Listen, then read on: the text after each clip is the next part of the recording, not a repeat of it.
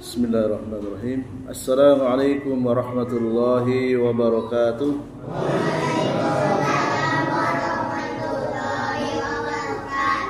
الحمد لله طيبا مباركا فيه كما يحب ربنا ويرضى أشهد أن لا إله إلا الله وحده لا شريك له وأشهد أن محمدا عبده ورسوله يا أيها الذين آمنوا اتقوا الله حق تقاته ولا تموتن إلا وأنتم مسلمون. يا أيها الناس اتقوا ربكم الذي خلقكم من نفس واحدة وخلق منها زوجها وبث منهما رجالا كثيرا ونساء. واتقوا الله الذي تسألون به والأرحام. إن الله كان عليكم رقيبا. يا أيها الذين آمنوا اتقوا الله وقولوا قولا سديدا. يصلح لكم أعمالكم ويغفر لكم ذنوبكم ومن يطع الله ورسوله فقد فاز فوزا عظيما وقال رسول الله صلى الله عليه وعلى آله وسلم إن الله يبغض كل عالم بالدنيا جاهل بالآخرة وقال أيضا من يريد الله به خيرا يفقهه في الدين Jamaah salat maghrib Masjid Muhammadiyah Darul Hasan Rahimani wa rahimakumullah. Alhamdulillah kita dipertemukan kembali pada kajian rutin Selasa malam Rabu. Salawat serta salam semoga tercurah limpahkan kepada junjungan Nabi besar Muhammad sallallahu alaihi wasallam pada keluarganya, segenap sahabatnya dan kaum muslimin yang senantiasa mengikuti tata cara beragama, tata cara hidup beliau ila yaumil kiamah sampai hari kiamat nanti. Dan semoga Allah SWT pada malam hari yang penuh berkah ini berkenan untuk menurunkan ilmunya dan kita bisa mengamalkannya sebagai bekal untuk menghadapnya kelak. Pada kesempatan kali ini kami akan membawakan topik tuntunan kurban menurut Tarjih Muhammadiyah. Alasan topik ini dibahas karena kita sudah masuk bulan Zulqa'dah yang insya Allah tidak lama lagi kita akan bersama-sama merayakan Idul Kurban. Yang insya Allah Alhamdulillah pada tahun ini sepertinya tidak ada perbedaan ya. Alhamdulillah. Yaitu pada tanggal 17 Juni ya. Hari Senin. 17 Juni hari hari Senin. Kalaupun pernah terjadi perbedaan, perbedaan fikih itu sudah biasa, ya. Bukan hanya di zaman sekarang saja.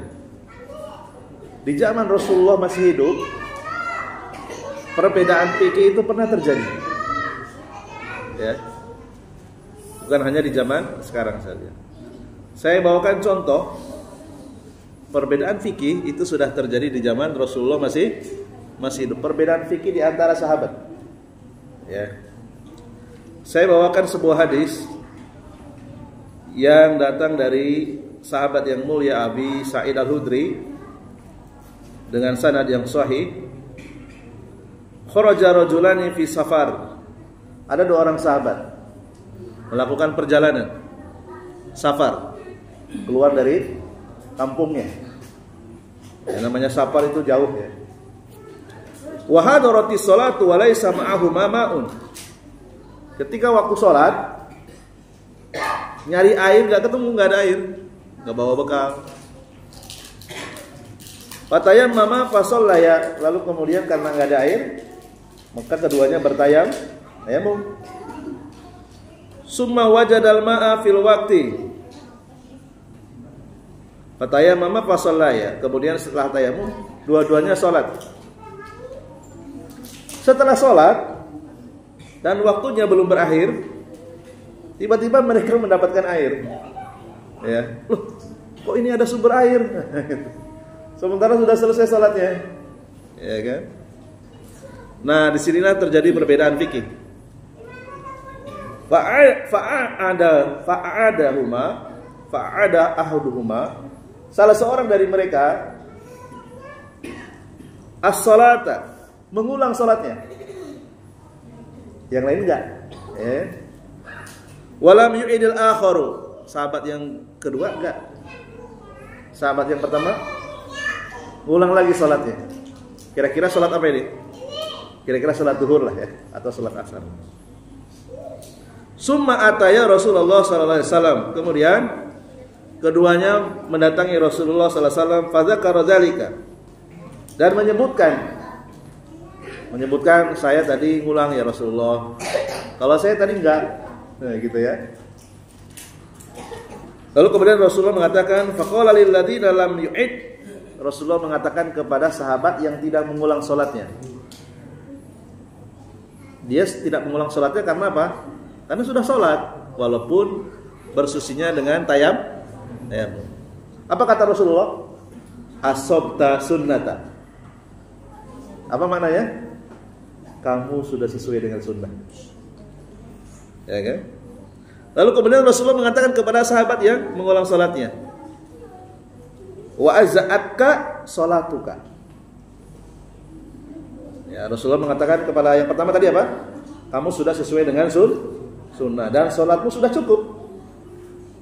Kemudian Rasulullah mengatakan kepada sahabat yang mengulang sholatnya, wa qala lilladzi tawaddoa wa ada Rasulullah mengatakan kepada sahabat yang berwudu lagi, lalu kemudian apa? Mengulang sholatnya. Apa yang dikatakan Rasulullah? Lakal ajru marotain. Kamu dapat dua pahala. Jadi Rasulullah itu sangat menghormati perbedaan di kalangan para sahabat. Kira-kira yang benar yang mana? Yang benar yang mana? Dodanya benar. Cuman yang paling abdol yang mana? Yang pertama, asobta sunnata. Engkau sudah sesuai dengan sun sunnah. Jadi dua sahabat ini tidak disalahkan. Mereka supaya mikir saja. Kira-kira yang paling utama yang mana kan? Akhirnya kan yang kedua mikir. Oh ya, tadi Rasulullah mengatakan apa? Asobta sunnata. Oh berarti yang paling abdol tidak perlu mengulang. Walaupun yang mengulang dikatakan Nabi apa? Lakal ajru marro. Engkau dapat dua apa? Dapat dua pahala. Rasulullah itu halus. Tidak menyalahkan. Padahal perbedaan terjadi. Yang satu tidak mengulang sholatnya, sholat dengan tayamum, walaupun ada air, ya mendapatkan mendapatkan airnya setelah selesai sholat Sementara sahabat yang kedua mengulang sholatnya, dia wudhu lagi, sholat lagi. Ya.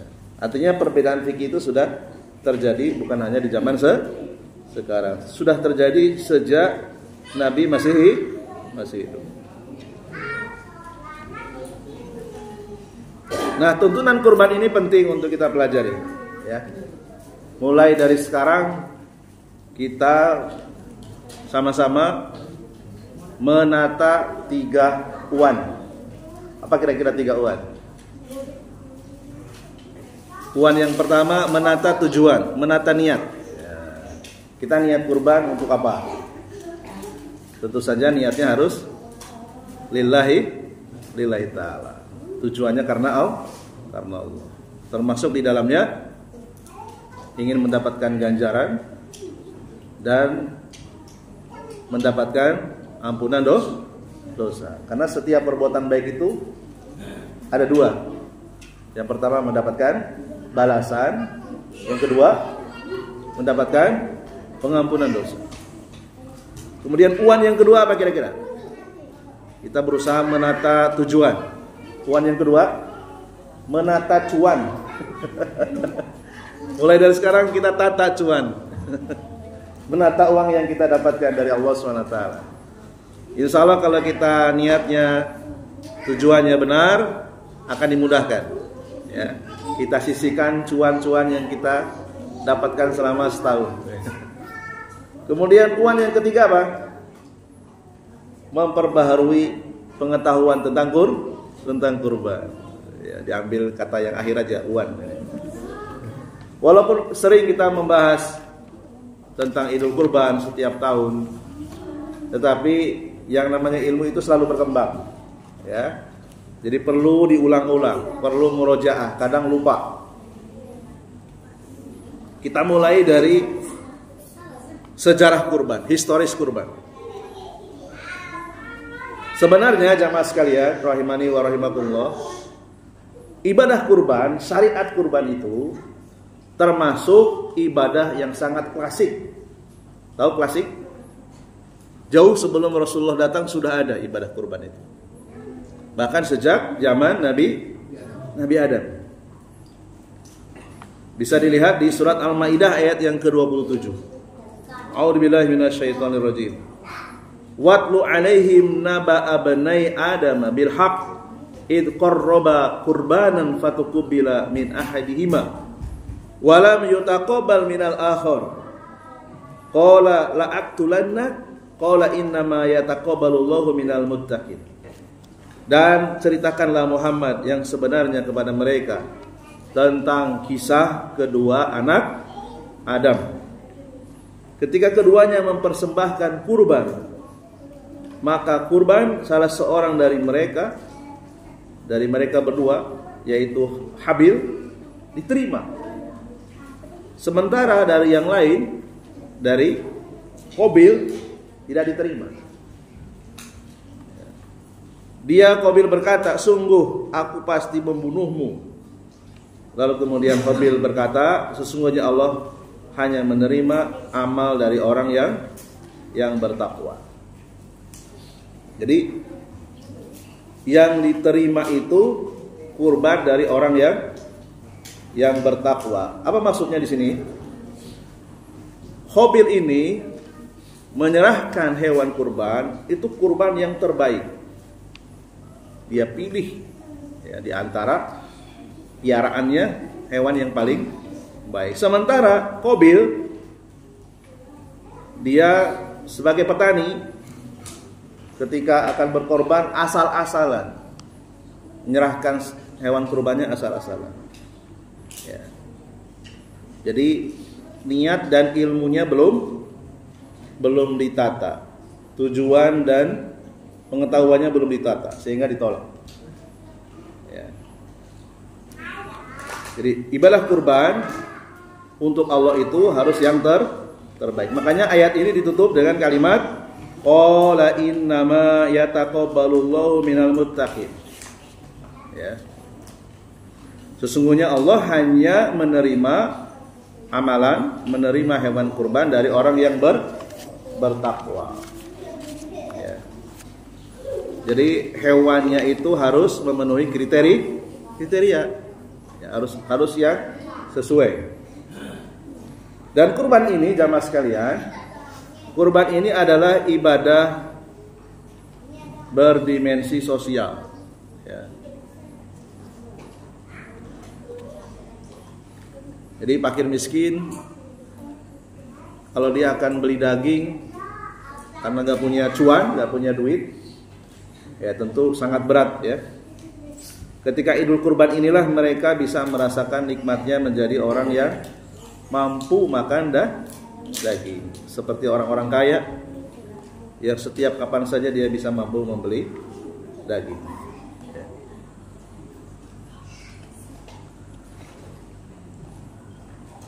Kemudian Allah sebutkan dalam surat As-Saffat ayat yang ke-102 Falamma balagha ma'ahu asy'ya qala ya bunayya inni ara fil manami anni adbahuka. Fangdur madza tara qala ya abatil if'al ma tu'mar. Satajiduni insyaallahu minas sabirin. Ketika anak itu sampai pada umur yang sanggup berusaha bersamanya Nabi Ibrahim berkata kepada anaknya wahai anakku yaitu kepada Ismail sesungguhnya aku bermimpi bahwa aku menyembelihmu.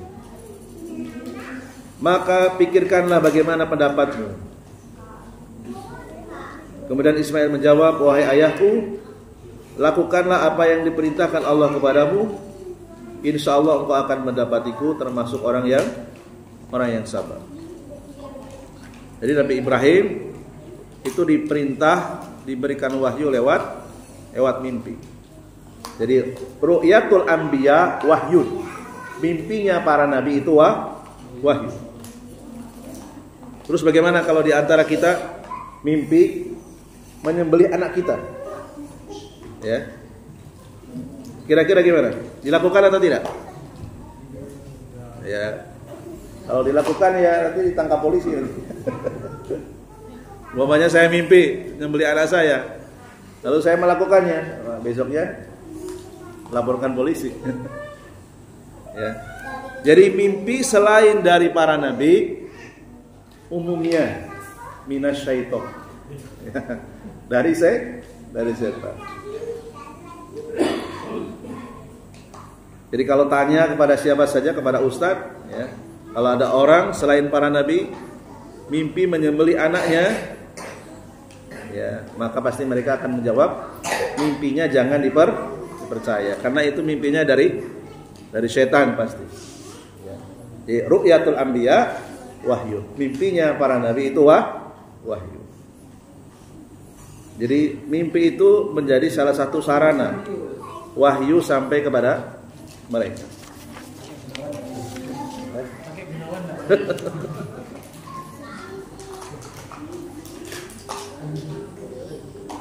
Jadi ketika Nabi Ibrahim berkata, "Ya abati, wahai ayahku," uh, Nabi Ismail mengatakan, "Ya abati, wahai ayahku, ib'al ma tu'mar." Laksanakan saja apa yang Allah perintahkan kepadamu. Satajiduni insya Allah minas sabirin. Ya. Insya Allah engkau akan mendapatiku termasuk orang yang orang yang sabar. Dan umatnya Nabi Muhammad itu diperintahkan untuk mengikuti agamanya Nabi Ibrahim. Terutama dalam perkara apa? Tauhid. Ya. Dan sebagian syariat juga ada yang diperintahkan untuk melanjutkan syariat Nabi Ibrahim. Contohnya dalam surat An-Nahl ayat 123. Summa auhayna ilaika anittabi millata Ibrahim hanifah.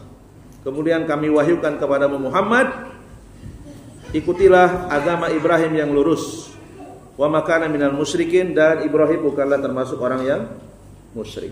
Jadi hanifan di dalam ayat ini maksudnya adalah condong kepada tauhid, kepada agama tauhid. Ya.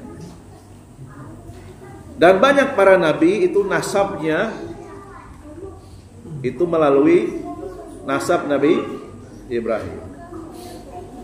Selain kurban syariat-syariat lainnya yang dilanjutkan oleh Rasulullah SAW di antaranya puasa. Puasa ini sejak zaman Nabi Ibrahim sudah ada. Sholat juga.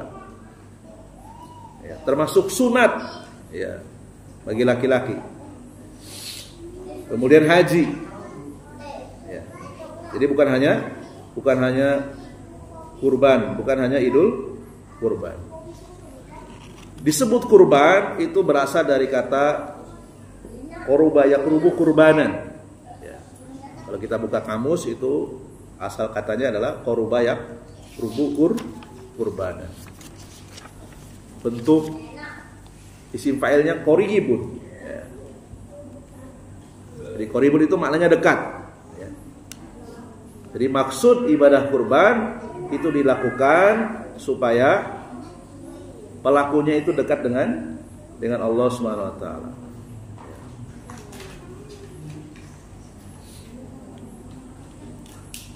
Id kurbanan ketika Nabi Ibrahim ya keduanya mempersembahkan kurban. Ketika Nabi Adam mempersembahkan kurban.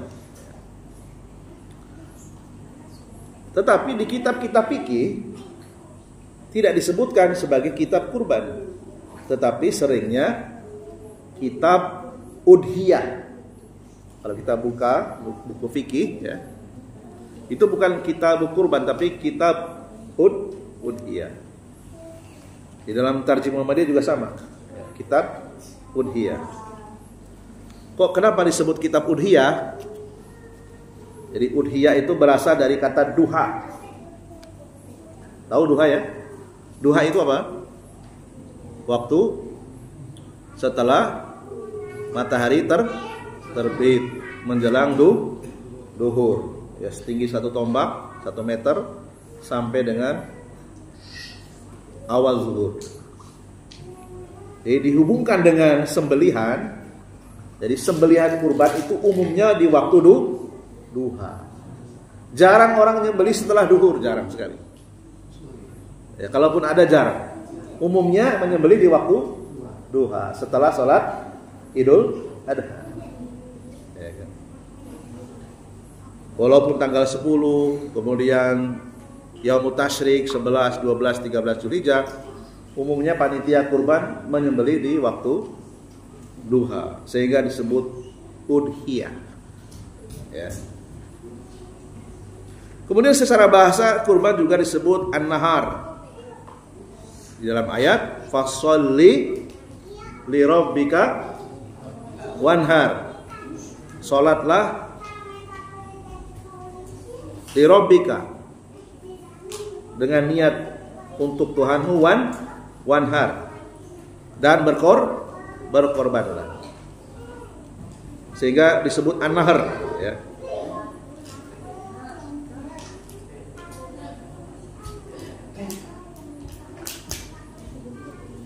Jadi uh, kurban itu harus diniatkan untuk mendekatkan diri kepada kepada Allah sebagai bentuk syukur. Sekarang korban domba atau kambing berapa? Minimal berapa? Tiga setengah ya. Sapi untuk tujuh orang berapa? Tiga satu. Di dalam satu tahun kalau kita hitung, kalau kita kalkulasi berapa harta yang kita dapatkan dari Allah Subhanahu wa taala. Ya. Kita total penghasilan selama satu tahun. Seandainya kita mau hitung-hitungan, diambil ya satu harga satu ekor kambing atau kalau sapi untuk tujuh orang. Kira-kira berapa persen yang kita sisihkan untuk korban dengan yang kita dapatkan penghasilan dari Allah SWT? Ada 10 persen? Kira-kira? Atur penghasilan ya. Mungkin 10% ada kali ya. Ya. Kalau kita sisihkan gitu ya. Jadi yang kita terima dibandingkan dengan kurban satu kambing misalnya, nggak nggak ada apa-apanya sebenarnya. Kalau kita mau hitung-hitungan ya. Penghasilan kita selama satu tahun kita hitung, lalu disisikan untuk kambing atau untuk sapi tujuh orang itu nggak ada apa-apanya masih lebih banyak yang kita nikmati ya.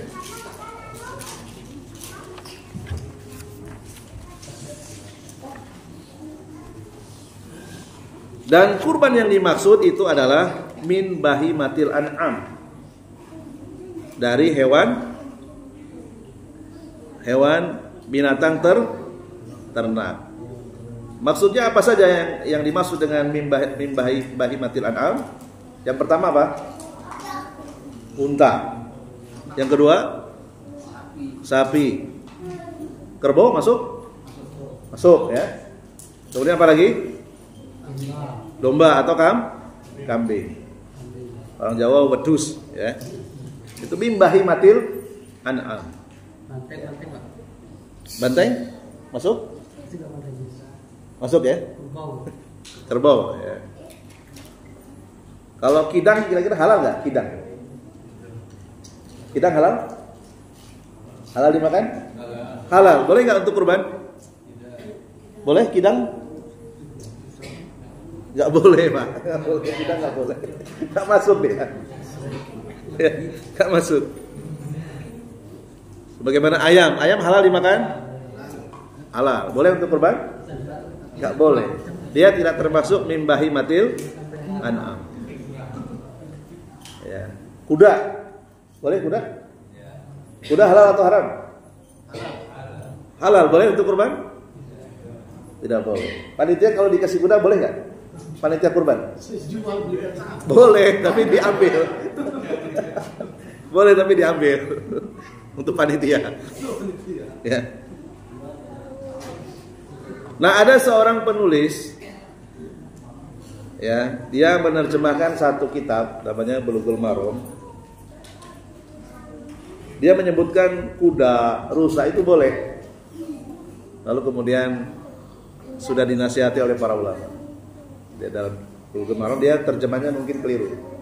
Dia menerjemahkan kuda, rusa itu termasuk hewan yang bisa dijadikan hewan kur kurban. Lalu kemudian dinasihati oleh para ulama karena menyelisihi uh, mayoritas ya para ulama. Jadi patokannya adalah mimbahi matil an'am hewan ternak itu yang boleh dijadikan hewan kurban, hewan yang bisa dizakati. Sama maknanya ya. Jadi kalau punya unta sekian banyak terpenuhi nisab ada zakatnya. Punya sapi sekian ekor terpenuhi nisabnya ada zakatnya. Demikian juga kambing.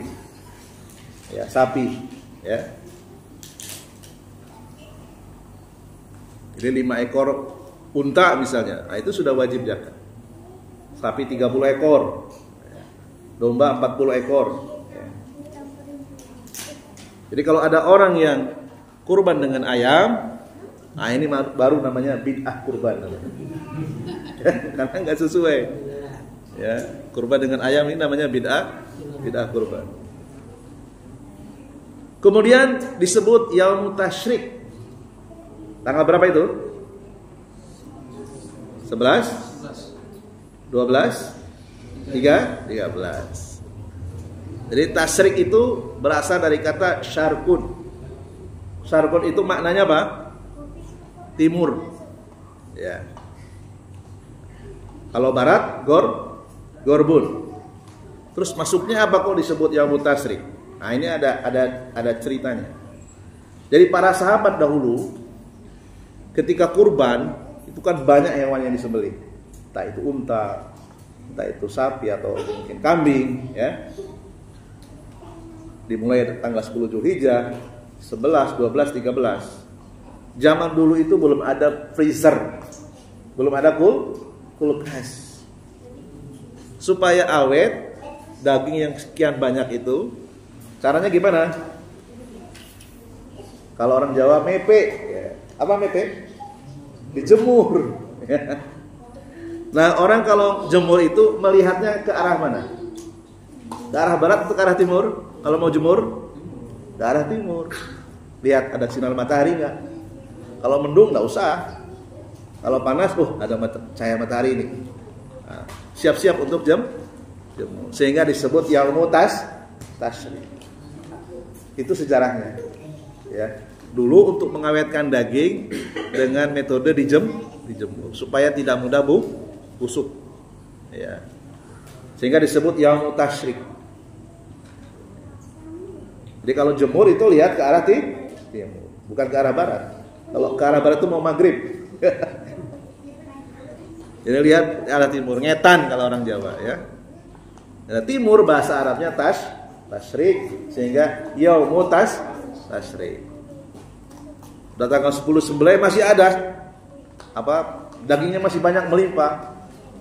Orang-orang sekitar sini sudah kenyang semua. Ya, nunggu orang-orang dari kampung lain datang ke sini supaya tidak gosok, supaya awet, dijem, dijemur. Kalau di NTB namanya apa itu? Sapi yang dijemur. Dendeng ya? Ya, dendeng kan? Nah, itu salah satu cara mengawetkan dah, daging. Nah, itu asal usul yaumu tas tasyrik. Wa kullu ayamin tasyriqi dibhun. Setiap hari-hari tasyrik itu boleh dilakukan penyembelih penyembelihan. Ya, hadis yang dinyatakan sahih dari sahabat Jabir bin Mut'im.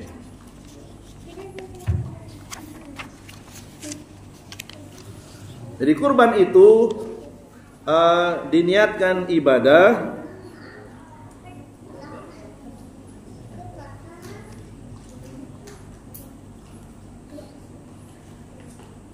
Dan ibadah kurban ini dia ibadah yang memiliki dimensi sosial. Misalnya ada sebuah keluarga. Dia nyembelih kambing. Nyembelihnya di tanggal 10 Zulhijjah. Setelah sholat Idul Adha. Tapi yang makan cuma keluarganya saja. Bisa tidak disebut Idul Kurban? Gak bisa. Karena gak ada dimensi sosialnya. Ya, jadi Idul Kurban itu harus dinikmati khususnya untuk siapa? Orang-orang yang miskin, orang-orang yang fakir. Kalau dinikmati hanya keluarga itu saja, keluarganya kaya-kaya, itu bukan Idul Kurban Walaupun waktunya disembelih di hari Idul Kurban. Ya. Allah singgung dalam surat Al-Hajj ayat 36, "Fakulu minha wa at'imul qani'a wal muqtar." Kadzalika sakharnaha lakum la'allakum tashkurun. Makanlah sebagiannya dan berilah makan dan berilah ya.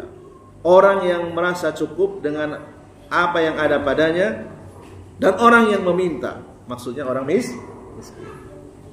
Demikianlah kami tundukkan unta-unta itu unta-unta itu untukmu agar kamu bersyukur.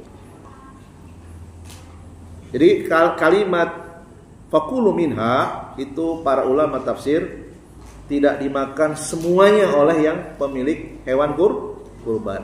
Harus sebagiannya harus di, diberikan kepada orang-orang miskin. Ya. Jadi ibadah kurban itu harus memiliki dimensi sosi sosial. Boleh, boleh, boleh. Dua menit lagi ya. Baik. Uh, di sini ada pertanyaan. Mana yang lebih utama? Kurban dengan sapi atau dengan domba? Ya. Dan masing-masing orang punya pendapat sendiri-sendiri. Ya. Mungkin sekedar intermezzo ya. Ada orang yang berpendapat lebih utama dengan sa sapi. Kenapa? Ya, dagingnya banyak. Tapi nanti dibantah sama orang yang kurban dengan domba. Ya, kalau dengan sapi tujuh orang, kasihan yang paling belakang itu. Dia bisa jatuh itu. yang paling aman yang tengah. Dia bayarnya telat. Berarti ketika masuk surga, nyebrang jembatan, dia paling belah, paling belah. ya. Madhab yang memilih domba mengatakan seperti itu. Ini intermezzo saja. Ya. Kemudian kalau yang naik domba, ya, dia bisa sendiri-sendiri naik domba. Katanya begitu katanya. Ya. Tapi ini intermezzo saja. Ya. Ada juga yang berpendapat sapi lebih utama dari domba. Ya. Di antara dalilnya adalah ketika Rasulullah SAW menyebutkan keutamaan masuk masjid, sop yang pertama seolah-olah dia berkorban dengan apa? Dengan unta. Sop yang kedua, sapi. Sop yang ketiga, domba. Nah, mereka berpendapat sapi lebih utama dari dari domba karena disebutkan sapi dulu baru dom domba. Kemudian madhab yang kedua enggak, yang lebih utama domba. Alasannya juga kuat. Kenapa? Sepanjang sejarah Rasulullah enggak pernah kurban dengan sapi. Beliau selalu dengan dom, domba. Gitu ya. Itu pendapat yang kedua. Tetapi para ulama mengatakan tidak ada dalil yang khusus mana yang lebih utama. Bebas saja. Itu dikembalikan kepada kepada kebutuhan. Kalau masyarakat di situ merasa lebih manfaat sapi, sapi lebih utama.